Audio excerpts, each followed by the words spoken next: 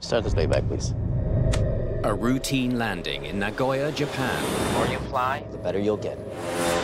Quickly turns to chaos in the cockpit. Sir, I still cannot push it down. Push down more. That's crazy. What's the matter with this? That's high drama. When a pilot pushes forward on a control column and he says, what's the matter with this? That's something seriously wrong.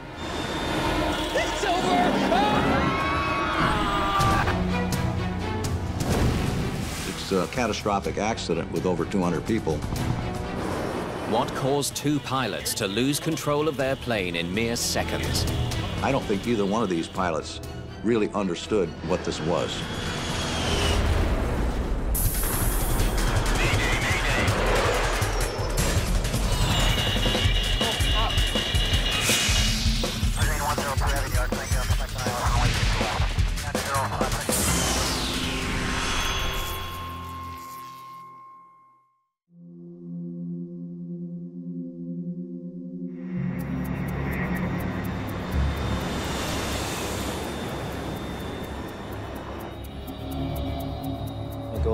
Nagoya approach, Dynasty 140, now approaching 10,600.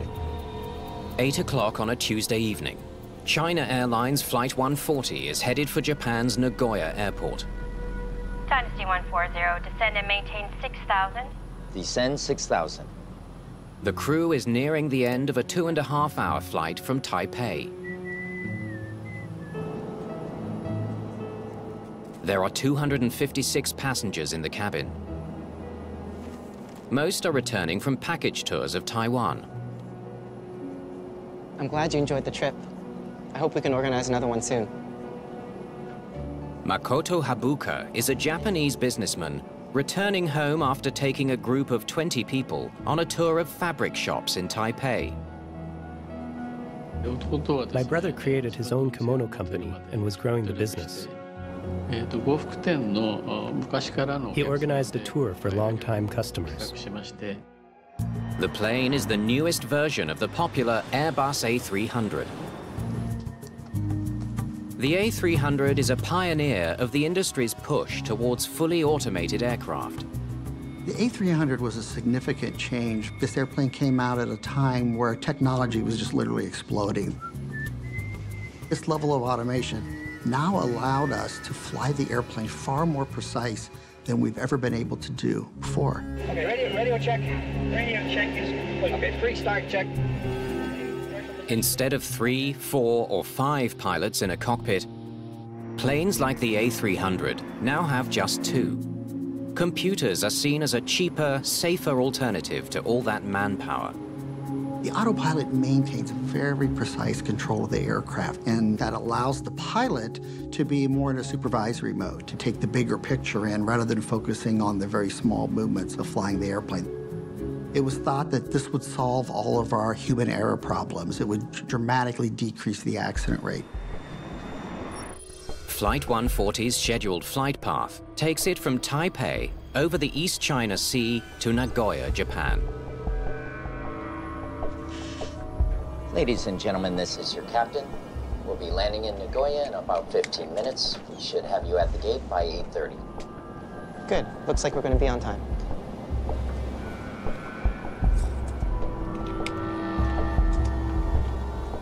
Shoulder harness, approach checklist complete.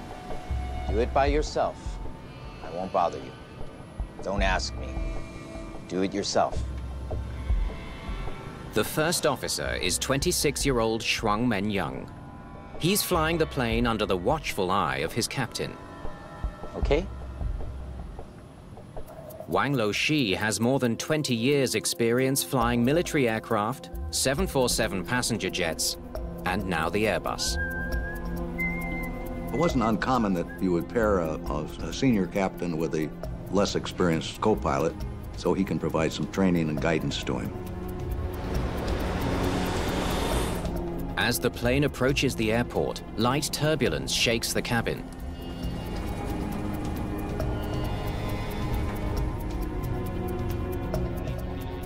Dynasty 140, reduce speed 180 knots.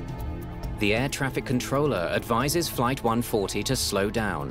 It's getting too close to a larger plane ahead. The Airbus is being buffeted by wake turbulence. But the captain isn't worried. It's common enough. Normally, after you pass through the wake turbulence, you, you can recover the airplane all right. Make sure you step firmly on the rudders. It'll be okay. It won't sway so much. Better reduce the speed a little more. Reduce it to 170.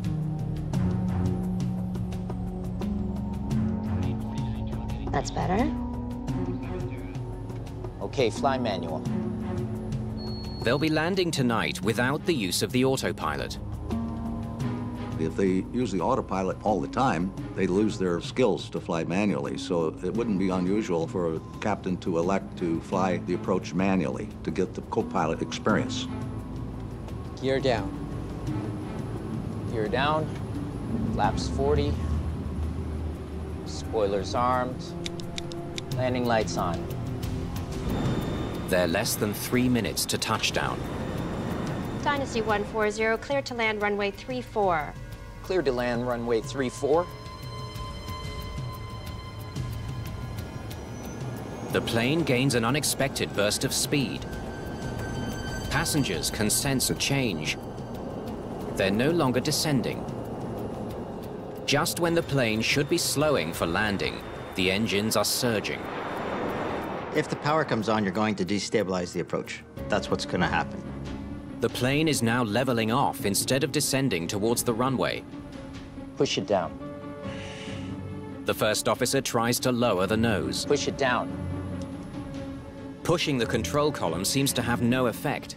They need to get back on course for landing. Disengage throttle. Captain Wang wants his first officer to reduce power. If they don't get back on the proper descent path, they could overshoot the runway.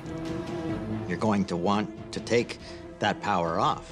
If you're too high and too close to the runway, you're going to land halfway down the runway, and that could potentially be uh, a bigger problem.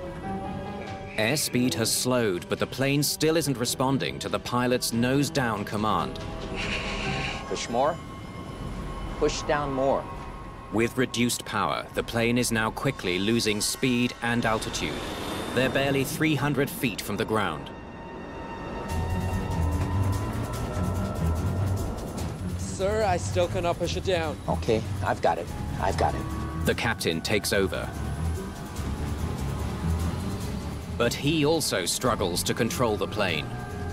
What's the matter with this? The pilots decide to abandon the landing. Go around. Go ahead, Tower Dynasty going around. A surge of thrust kicks in as the captain advances the throttles to climb out. When something becomes too destabilized, too close to the ground, well, that's when a go-around should be called. Roger, stand by for further instructions. The controller must now find a clear route for Flight 140 to circle around and try their landing again. But the go-around procedure isn't working. The plane is now climbing much too steeply. If this goes on, it will stall.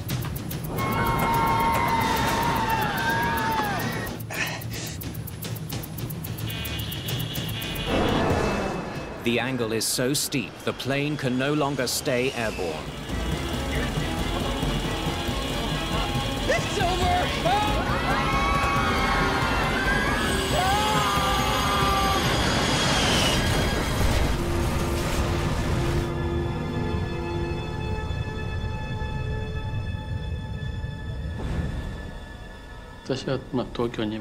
I was in Tokyo and took a taxi.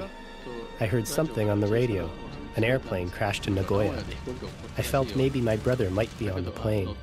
So I got out of the taxi quickly and called my house from a payphone. I asked to check the news on TV, and it was already showing fire on the screen. I finally got through to his house in Nagoya. His child answered the phone, and I asked, Was your father on the airplane? And he said he was. Rescue crews are on site in minutes. They battle flames three stories high. It takes more than an hour to contain the raging fire. It's a catastrophic accident with over 200 people. They've probably never seen an accident like this. Good evening. In Nagoya, Japan, which is west of Tokyo, it was early evening when a China Airlines flight from Taiwan approached for a landing. Suddenly, it tried to take off again, but the engines exploded and the Airbus crashed. Incredibly, seven people survived the disaster, including a six-year-old boy and his three-year-old brother. It was a miracle that seven people survived in the end. But 264 people are dead, including the crew. Makoto Habuka dies in the crash. He leaves behind a wife and three young children. I was hoping he was still alive. Around 11 p.m., it showed his name on the screen. Then I knew it clearly. We were so upset. It's the second deadliest plane crash in Japanese history, and China Airlines' worst accident ever. We wanted to know the cause of the accident.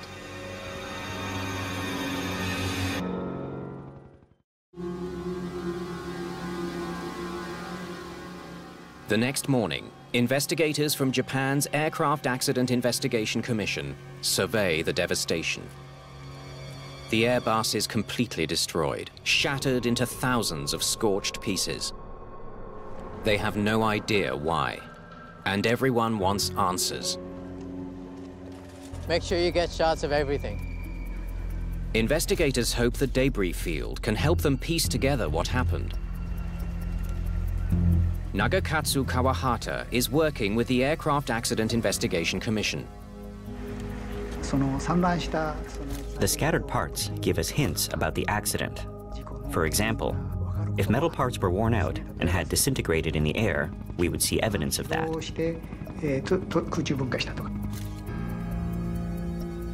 They didn't miss by much. Approximately 360 feet east from the runway. The plane crashed just to the side of the airport's one runway. Why would a sophisticated aircraft with an experienced captain end up here? You don't want another airplane going down for the same reason. So you, you would have urgent need to determine what's wrong with this airplane, if there is something wrong with it. Impact scars. The soft earth by the runway offers clues. Investigators find a series of scars where the plane hit the ground. This one's much deeper. Looks like left side landing gear. The evidence paints a picture of how the plane came down. At a four degree nose up angle and leaning to the left. The landing gear hit first, then the left and right engines. The wings were ripped from the fuselage, rupturing the fuel tanks. This was a relatively short wreckage path, indicating the airplane did not have a lot of forward motion. It was coming down vertically more than forward, and so it pancaked into the ground. The question now is why was the plane coming in at such a sharp angle? Mind if I record our conversation? Go right ahead. Investigators hope the air traffic controller has some answers. Any idea why the plane missed the runway? None. They got a bit close to another plane on approach, but I slowed them down. Reducing 180 knots. A few minutes later, I cleared them to land, and they copied that. Cleared to land runway 34. And I heard nothing until they said they were going around. How'd the pilot sound when he radioed for the go-around? A little rushed, but not panicked. And he didn't say why? No. A go-around isn't considered an emergency situation. Nagoya Tower Dynasty going around. It's used to avoid one. Go-around mode is a series of commands sent from the flight management system. It'll apply the climb thrust required to bring it up to a safe altitude after an approach has been aborted. Roger. Stand by for further instructions. The controller acknowledged the go-around procedure. But just moments later, the Airbus hit the ground. I Didn't hear from them again. It was all so fast. The interview only deepens the mystery. Thank you. I'll let you know if I have any other questions. Investigators still don't know why the crew called for a go-around or why it went so wrong. Pressure to find answers is mounting. Mourning Taiwanese family members are flown in to identify the bodies. The enormity of the disaster is sinking in. Recovered travel documents help Wataru Habuka identify his brother Makoto. I hope we can organize another one soon. Thank you. His passport was in here. They found it after the fire was extinguished. So that's why they could identify him by name.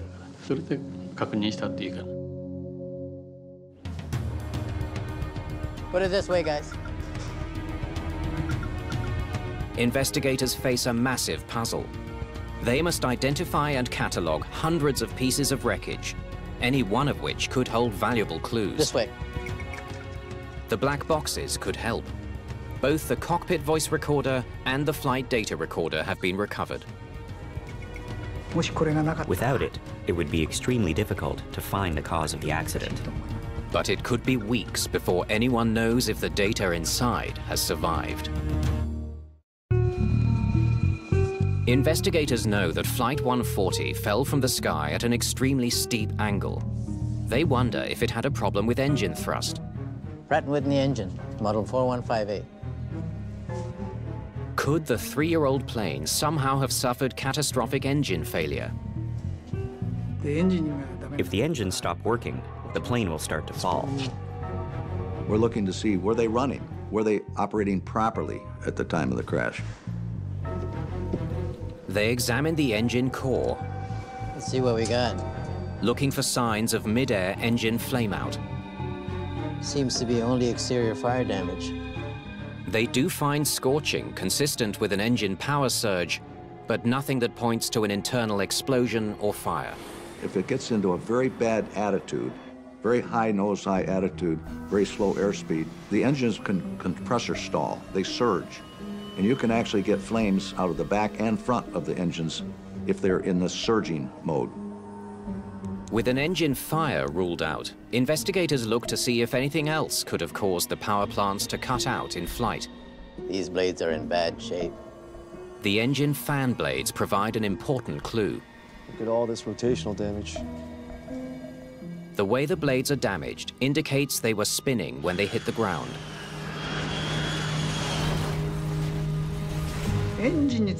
Engine output looked normal. We didn't believe the engines malfunctioned. Nagoya Tower Dynasty going around. The question now, if the engines had enough power to go around, why did the maneuver fail? Damn it. Investigators have another suspect, the Airbus's wing surfaces. Movable slats and flaps are built into the front and rear edges of the wings. Their position must be adjusted according to the plane's speed. Flaps and slats are aerodynamic devices that help the airplane fly at slower speeds for takeoff and landing. It's very important to, that the flaps operate properly. If the pilots forgot to change the flap settings for the go-around, the plane may have suffered from too much drag. This goes on, it will stall. The wings were badly damaged in the crash. Some of the flaps ripped right off. But that doesn't throw investigators off course.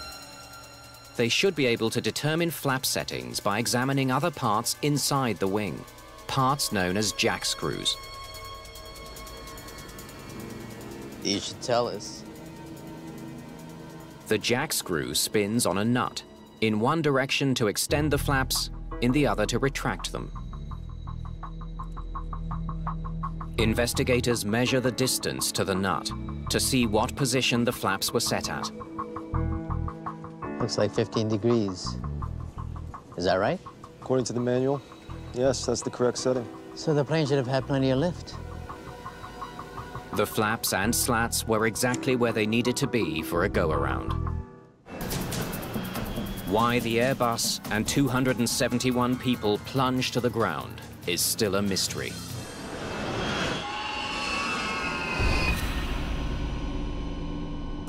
Japanese investigators call on Airbus for help. Thanks for coming. The French manufacturer sends a technical expert who knows the A300 inside and out. France is the state of design, state of manufacture. They have an obligation to determine if there's airworthiness problems and correct them on the fleet worldwide. I've been examining these instruments, but I'd like to get your take. Confident that the plane's engines and wing flaps were not factors in the crash, investigators turned their attention to the cockpit instruments. In any accident investigation, you want to document the cockpit, document the position of switches, any indicators that might show what the position was at impact. They focus on the thrust levers. Nagoya Tower Dynasty going around. Were the thrust levers in the right position to provide enough power for a go-round? Forward position, right where we want it. To investigators, it looks like they were. And it matches what the controller told them about Flight 140 requesting a go-around. Roger, stand by for further instructions. So the flight computer would have kicked in for the go-around mode. Mm -hmm. What investigators have uncovered so far is puzzling. It appears the plane was properly configured to perform a flawless go-around. The flaps and slats were set, the engines were at full power, everything was where it needed to be. So what went wrong?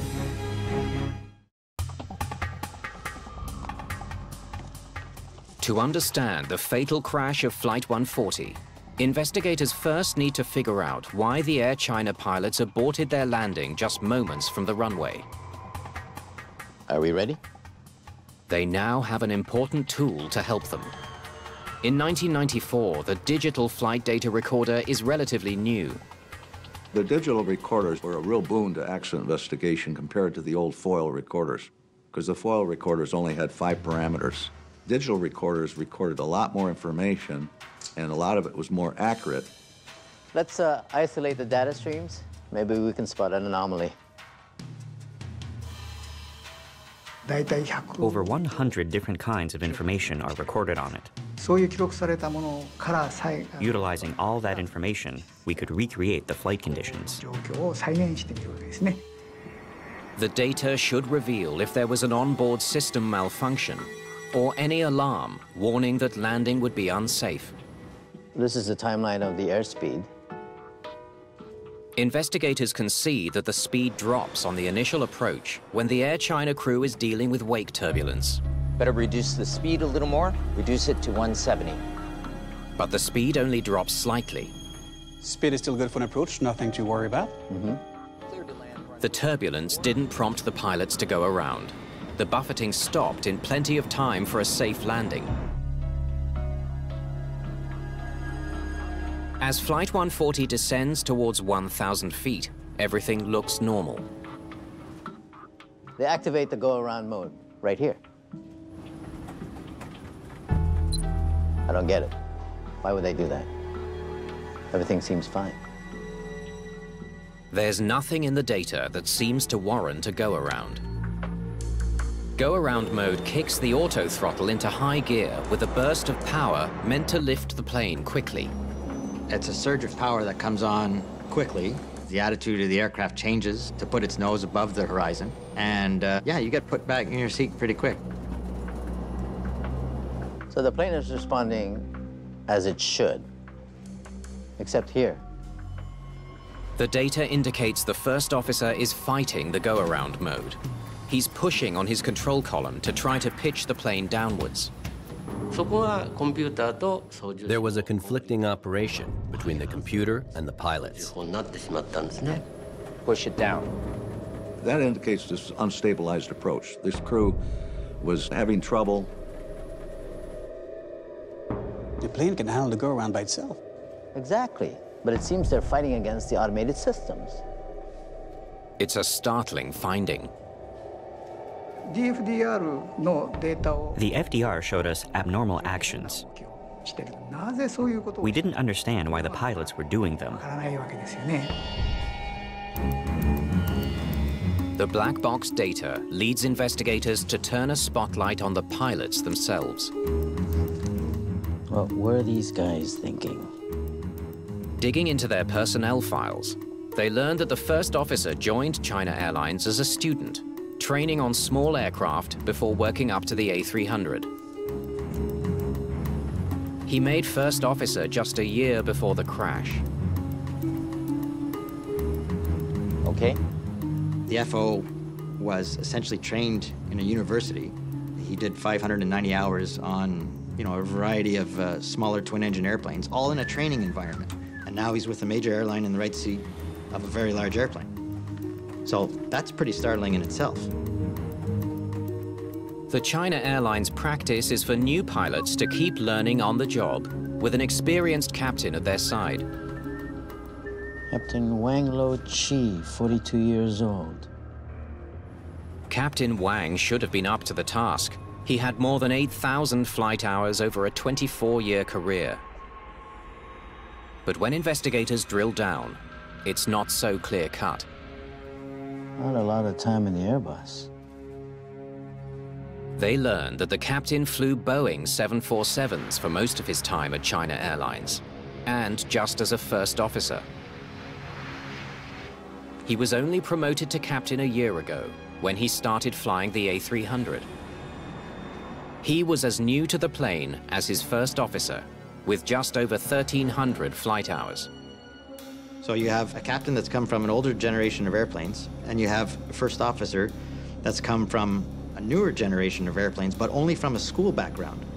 So that's two relatively new pilots on the same airplane. By 1994, there were hundreds of A300s in the skies. Airlines needed trained pilots to fly these technologically advanced aircraft. The crew on the accident flight was part of this surge. It's okay. Just do it slowly. Did the pilots understand the flight systems well enough? Only the voice recorder can provide answers.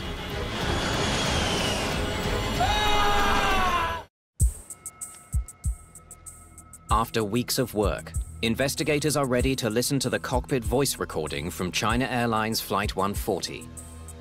Start the CVR playback, please. Did the pilots say anything that might explain the fatal crash? The more you fly and practice, the better you'll get. That must be the captain. Almost 8 p.m. at about 10,000 feet. Yes, I see. That'd be the first officer. Sounds nervous. Just put him down gently. Like this. Just fly like this. It's clear the captain is very much in charge. Throttle like this. Do it by yourself. I won't bother you. Don't ask me. The captain speaks to his first officer as if he's never been in a cockpit before. Okay? Meanwhile, 256 passengers are along for the training session. The communication between the pilots is very poor. It sounds all one-sided. Make sure you step firmly on the rudders. The captain has absolute power in the cockpit. The co-pilot can't say a thing. It'll be okay. It won't sway so much. The teacher-student relationship works well through the wake turbulence. Okay, fly manual. And as the first officer switches to manual flight, he disengages autopilot here at about 2,300 feet. The landing approach is right on track. Then they hear something completely unexpected. Uh, you triggered the go lever. Yes, I, uh, I touched it a little. Disengage it. Stop playback. He hit the go around by mistake. It's a major discovery. Until now, investigators had assumed the crew intended to do a go-around. Now it appears the young first officer engaged go-around mode by accident. Investigators suspect that the first officer's hand touched the small go-around switch on the front of the thrust levers. The cause is unclear. Certainly he touched it. The data showed it. Along with a boost in thrust, go-around mode activates the plane's horizontal stabilizer. The stabilizer is the horizontal section of the plane's tail. It pivots up and down to help control the plane's pitch. In go-around mode, the computer moves the stabilizer to send the plane nose up. Continue, please. Push down. Push more. Push down more. What investigators are hearing is stunning. The crew has plenty of time to turn off the go-around mode, but for some reason don't. Instead, the pilots plow ahead and attempt to land. That's crazy. The aircraft is now caught between two opposing commands. The first officer is trying to push the nose down, but the flight computer is commanding the horizontal stabilizer to go nose up. Sir, I still cannot push it down.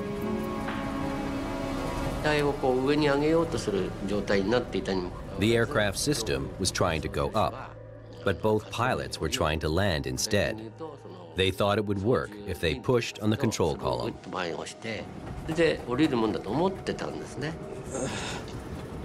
They were simply fighting the automation all the way down to the ground and not realizing it. So it's computer versus pilot. Computer will win every time. It overrides the manual command. The main cause of this accident was that they didn't understand the movement of the horizontal stabilizer.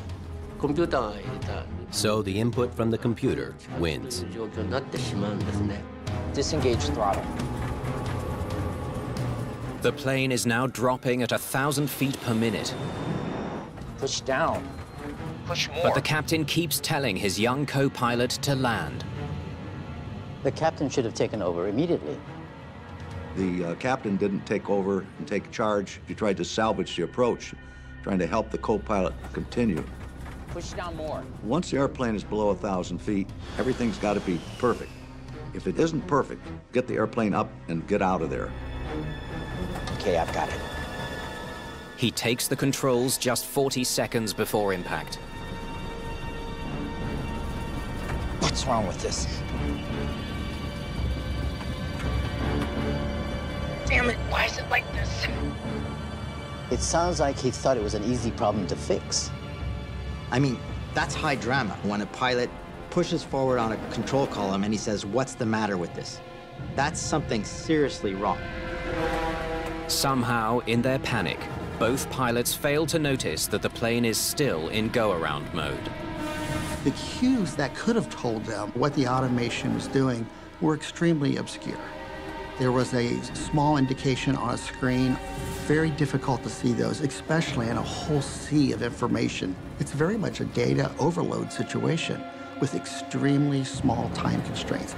Go around. Nagoya Tower Dynasty going around. The captain decides to execute a manual go-around. But it's too late. Adding thrust only sends the nose up faster. All that sudden thrust pushes them 50 degrees nose up in just seconds. If this goes on, it will stall.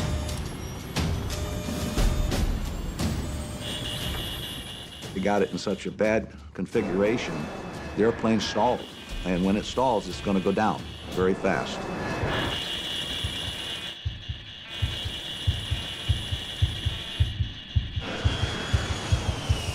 Over.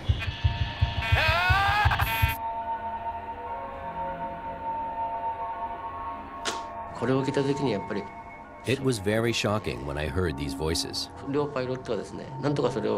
pilots were trying to recover. I think the voices showed all hope was lost. Why didn't the pilots know the computer was going to take over? It's the last question facing investigators. To answer it, they'll need to explore the complexities of computer automation and the limits of human understanding. Push down more. How could two trained pilots have such a flawed understanding of their plane's computerized flight systems? Sir, I still cannot push it down. Okay, I've got it. I've got it. To prevent this from happening again, investigators need to understand why the crew became so confused. Why is it like this?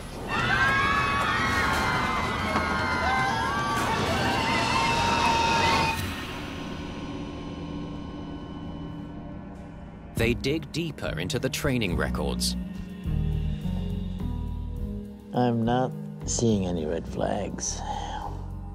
The two pilots completed all licensing requirements, including classroom, simulator, and training flights.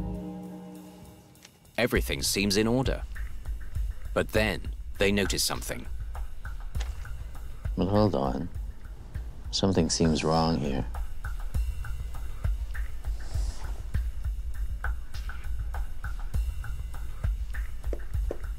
The simulator training. A300 training, that's right. Investigators contact China Airlines with questions about the pilot's simulator training.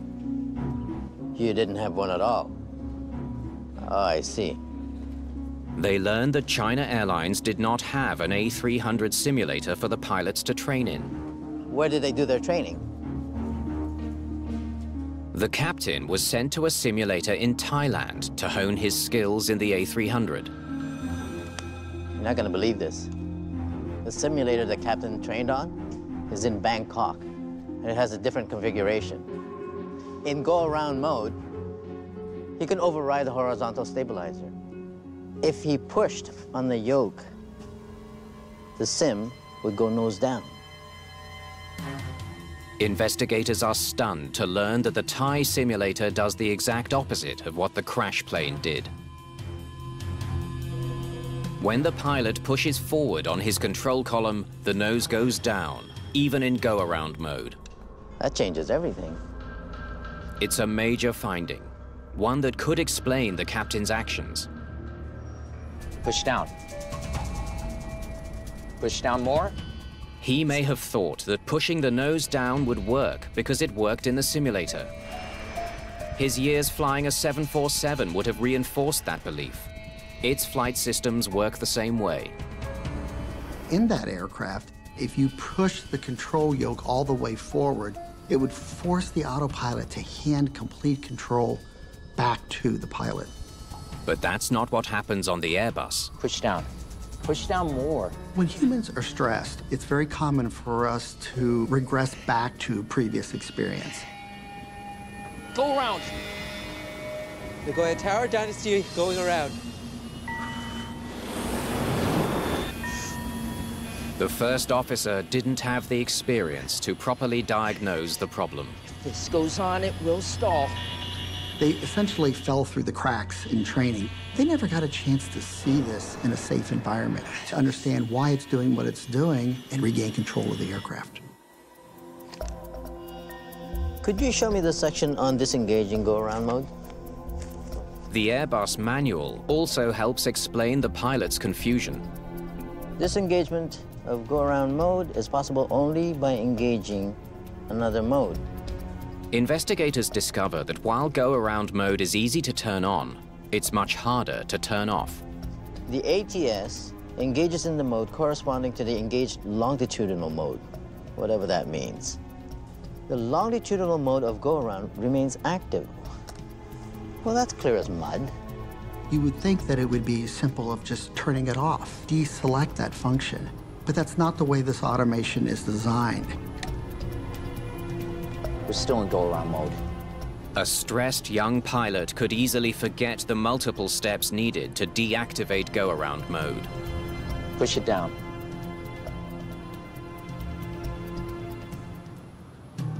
The co-pilot made an inadvertent movement of a, a switch that started this whole thing going. I don't think either one of these pilots really understood what this was. And they weren't the first. In the previous 10 years, three other A300 crews experienced difficulty overriding the plane's automation. There had been other incidents with these Airbus airplanes in which air pilots had lost control of them. Now, they nearly crashed, but they did not crash, and so the reasons for those incidents was the same as the reason for this accident. After the last incident, Airbus issued a service bulletin suggesting airlines modify all A300s. Push it down. The modification would turn off automatic control of the stabilizer if the pilot pushed hard on the yoke in go-around mode. Push down more. Airbus issued the service bulletin less than a year before the China Airlines crash. When investigators check the service records, they make an alarming discovery. None of the company's six A300s had been modified.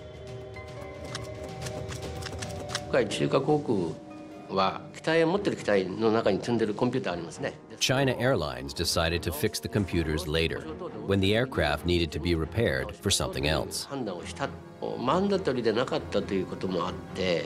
The recommendation wasn't mandatory, so the airline just followed their own schedule. The service bulletin is not a mandatory change for an airline. It's over!